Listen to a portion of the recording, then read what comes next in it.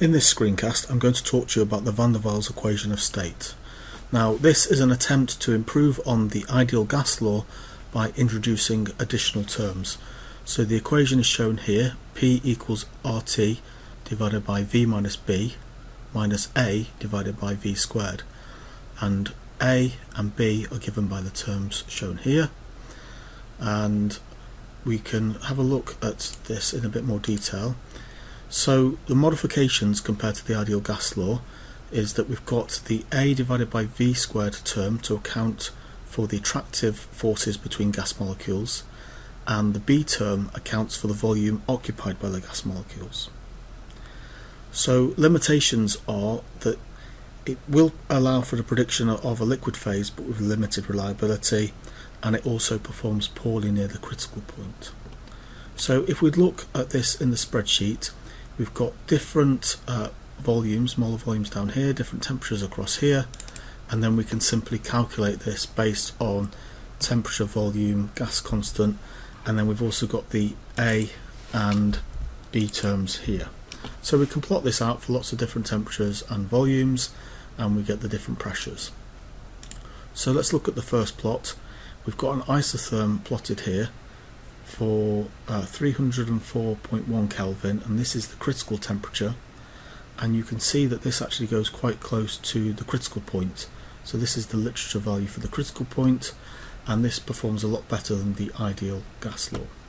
If we add some more detail in now, here is an isotherm for a temperature lower than the critical temperature.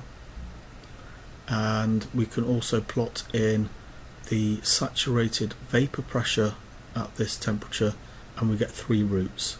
Now the root over on the right hand side is the dew point and on the left hand side is the bubble point so we can start to look at this vapor liquid coexistence. If we add some further detail in, so this is more isotherms with more saturated uh, vapor pressures.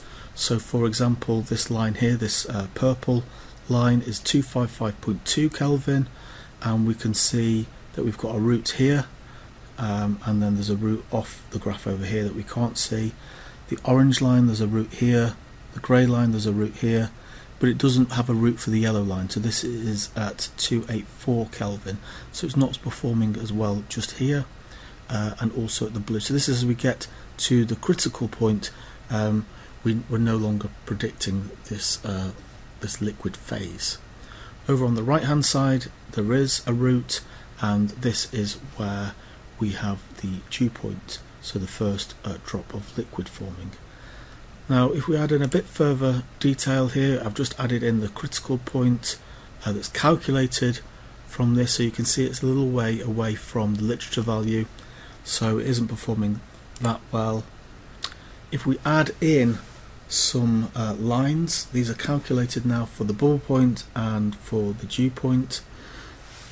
We can see that where these intersect, this line goes through. It doesn't here, but it's just been plotted in. So now we've got a bubble point uh, line for this and then a dew point line and starts to show the behavior uh, based on the calculations.